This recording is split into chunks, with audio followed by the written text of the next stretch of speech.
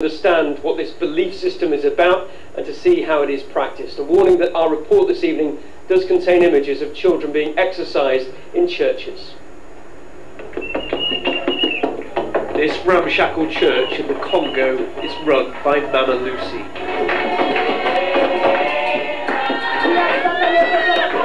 Her people come to worship, they also come to be healed. For the right price, they'll treat all sorts of common complaints. But in the corner, curtained off from view, there is a witch doctor's surgery. This woman has headaches. Her treatment is designed to suck out the evil spirits.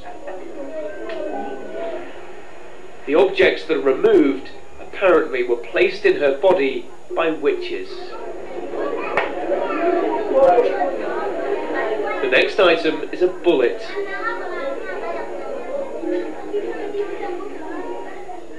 It is a conjuring trick. The witch doctor had it in his mouth, but the woman is told that it came out of her head. Belief in witchcraft, or kindoki as it's called here, supports a profitable industry, fueled by the fear of the unknown.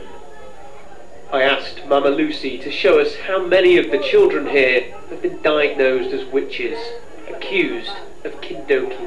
Oyo mwasi kindoki. Oyo kindoki oyo kindoki oyo kindoki esi epui forme na ye echanzaka mona nzambe ayebisi nga aza na kindoki. Ye moko mpe ato ayebaki aza na kindoki. Miso bango echanzaka okóma na miso mine. Miso ekóma lokwa nyao.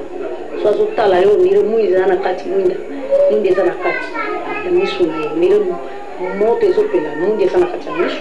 Te tokoyeba oyo aza na misala Mama Lucy has seen it in 10 year old Chanda. She has asthma and her deliverance is about to begin.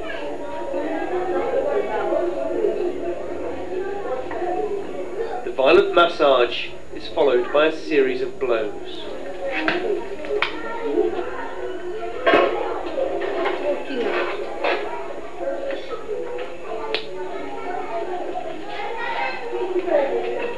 The strings, we're told, were the work of the witches who had wrapped them around Chanda's lungs. Again, it's an illusion, but Chanda is told this was the cause of her asthma.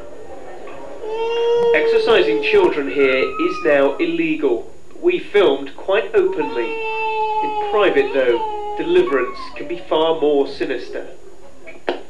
At this centre for abandoned boys outside Kinshasa, we found T-Day. His family accused him of being a witch and tortured him with boiling water. He ran away from home, fearing for his life.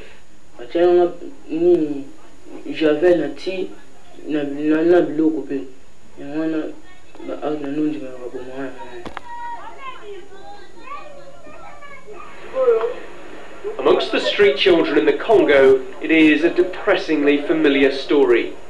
They are victims of poverty, but also the idea that evil spirits must be banished, whatever the cost. It's exactly what happened to this boy, Lionel Makola. His only crime was to take his father's pen. It coincided with his dad being rejected for a job.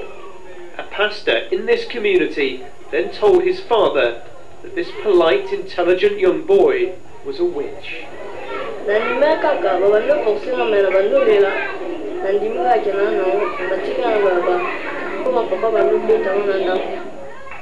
The Makola family do live a simple existence, but the father Thomas is an educated man, a qualified lawyer who now realizes he was conned.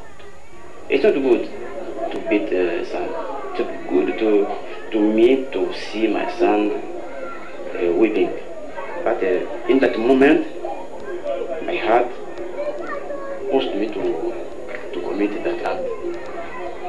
you think the pastor was right in what he said to you, that your son was a witch? In that moment, I believed it, but not now. That pastor works work for money because our economy is not uh, working. And that is at the heart of Kindoki. The poverty and social problems here have created a fertile ground for pastors to make money out of people. It's child exploitation on an epic scale. Tom Parmenter, Sky News, Kinshasa.